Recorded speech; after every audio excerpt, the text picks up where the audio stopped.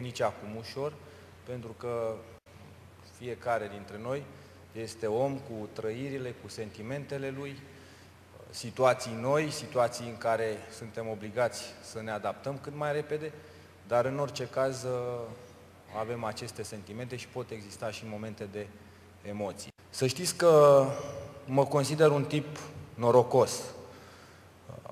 În primul rând pentru că în viață am reușit să fac ceea ce mi-a plăcut cel mai mult și pentru ceea ce am avut o foarte mare pasiune.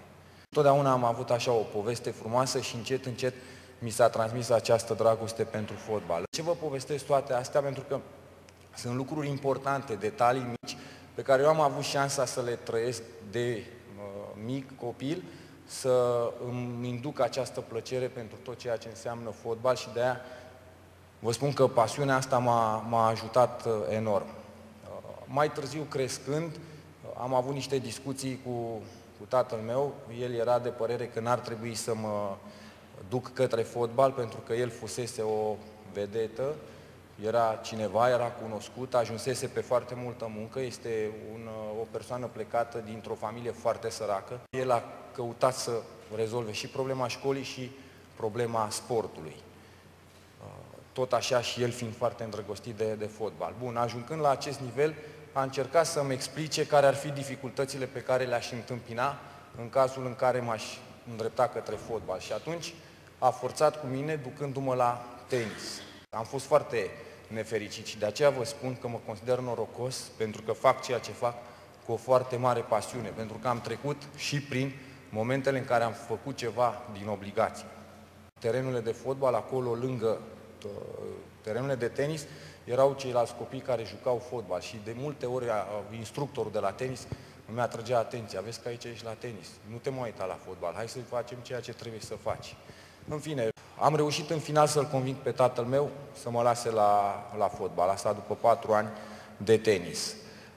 Mi-a spus, bine, dar gândește-te că îți va fi foarte greu, gândește-te că toată lumea te va contesta, gândește-te că mulți uh, vor vrea să vadă la tine, la 19 ani, 20 de ani, ceea ce au văzut la mine la un, într-o carieră întreagă. Că toate aceste uh, analize se vor întoarce împotriva ta și nu știu dacă nu cumva vei ajunge să suferi tu foarte mult.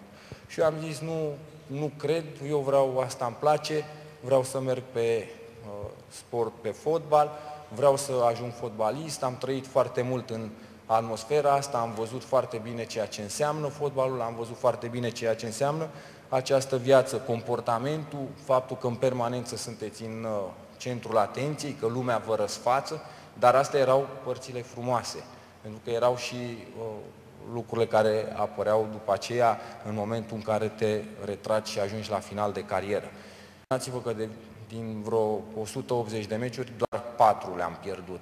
Deci, de ce vă spun toate astea? Pentru că asta m-a ajutat să ajung aici, asta arată ce pasiune aveam pentru uh, fotbal și faptul că îmi doream foarte mult să reușesc și sigur că și ambițiile mele erau foarte mari. De fiecare dată când mă, aveam timp liber și când îmi fugeau gândurile, îmi fugeau întotdeauna către un stadion arhiplin care să-mi strige numele și uh, mă vedeam învingător și uh, cu succes. V-am spus partea frumoasă și v-am spus că am avut uh, noroc. Totuși am întâmpinat foarte multe dificultăți, pentru că eram băiatul lui Lucescu. La fotbal nu vă mai spun că și unde mă duceam, unde la copii sau nu, întotdeauna auzeam în spatele meu că, păi tu ești băiatul lui Lucescu, ai avut șansa asta, de-aia ești aici, de-aia te bagă antrenorul, de-aia uh, ești ce ești. Nu sunt lucruri ușoare. M-am oprit, am zis stop și am decis să pornesc pe, pe partea de antrenorat. Uh, aici sunt multe lucruri de spus am început ducându-mă la o școală în uh, Germania. Uh, m-am întors de acolo, am început să umblu și să caut să citesc cât mai mult, să mă informez cât mai mult, să văd cât mai mulți antrenori, să văd cât mai, mai multe antrenamente și să încerc să fur de la fiecare. Am avut foarte multe semne de întrebare și eram foarte speriat la gândul că va trebui într-o zi să-i preiau o echipă. nu știam cum să procedez. La un moment dat ajunsesem în viața mea să trec de acea perioadă în care vă spuneam că permanent sunt asociat cu băiatul lui Lucescu, spre finalul carierei deja eram privit ca Răzvan Lucescu. Știu doar un singur lucru, că ceea ce fac, fac cu pasiune, că fac la modul cel mai corect și că în final voi reuși eu. Asta